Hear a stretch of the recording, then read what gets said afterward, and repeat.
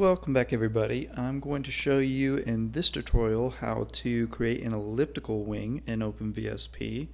Uh, so to do this we're going to use a new uh, blending function available for wings uh, in the latest release of OpenVSP. I've got 3.16.1 as you can see here so just make sure you're up to date and have the current version. So the first thing we'll do is just add a new wing. And I like looking at it uh, from the top view as we have here. So the first thing we're going to do at this point is go to your section tab and eliminate the sweep. So all I have to do is double click, put zero in there, hit enter. Next we're going to eliminate the change the sweep location. So instead of at the leading edge, we want it at the mid mid chord point. So I'm just going to type in 0.5 here and hit enter. So now we can see that uh, our wing is looking more symmetric, that the leading edge and the trailing edge have the same shape. So from here, we want to go to this blending tab that I was talking about earlier. And we're going to modify, so we've got an option for the leading edge and the trailing edge. We're going to change the outboard on both of these to angles so we can adjust these. So for the sweep in both of these, we're going to do zero. And as you can see, it's looking more elliptical. Alright, so the next thing I want to do is control the strength of each. And you can see what happens and just play around with this yourself. Uh, obviously you can't go too extreme, otherwise it does uh, mess up the geometry and you probably don't want to go with too much curvature too early on. Uh, if you look at a Spitfire, which is a World War II fighter aircraft, it tends to be straighter on the leading edge of the wing uh, till about the mid-span location, and then it really starts to curve in towards the tip. So we're going to mimic that. And what I found to be a good starting point for this is 1.5 on the strength and I'm going to repeat that for the trailing edge. So now we're actually in pretty good shape.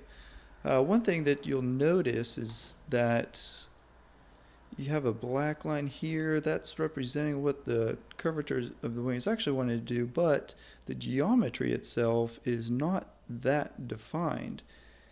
If we want to add more sections or segments of, of this wing to get a shape ultimately that's closer to what we want, we can go to, so under our section tab, this num u, that's going to control these lines here.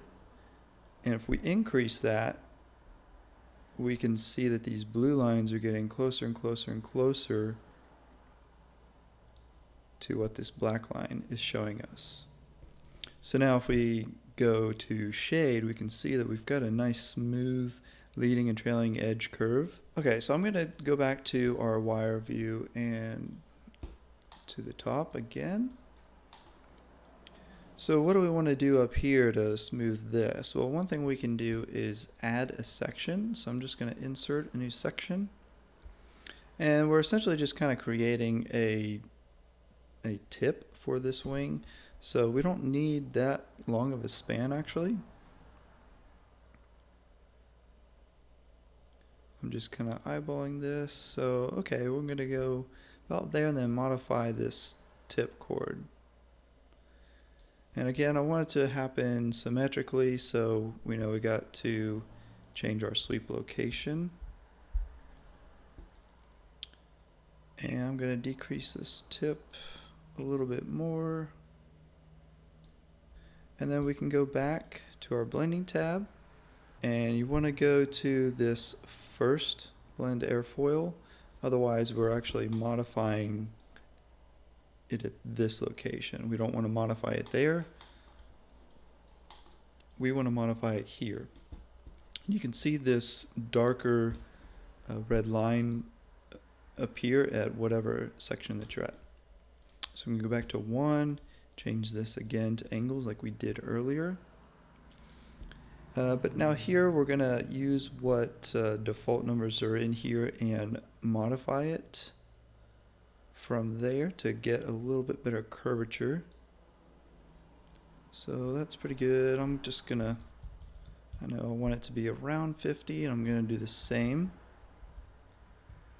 for the outboard. And you'll notice that this one's negative. Okay, that's looking pretty good, but I want to modify the strength to have a little bit smoother curvature. I'm good with that. So about 0.86. Okay, and so the last thing that we're going to do to complete this wing is under our plan sec plan tab, we have this tip treatment list here and I want to modify the tip of our second section and just the tip, not the root. So we're going to leave this alone and just modify the tip cap type. So right now it's actually flat and I'll show you if I hit the R key again, we've got these points that show up and we can click on a point. Now that allows us to rotate about that so we can see better what's actually going on here. So we have it selected as flat, so the tip is just a plane, it's just flat. Uh, if we hit and select the round tip cap type, we can see we have a rounded tip, which is nice. If we hit shade, we can get rid of these boxes by clicking in this box. We've got a very nice elliptically shaped wing. I'm pretty happy with that. So uh, just play around with some of these parameters and uh, fine tune it to whatever specs that your particular wing uh, needs to conform to and that's really all that there is to it.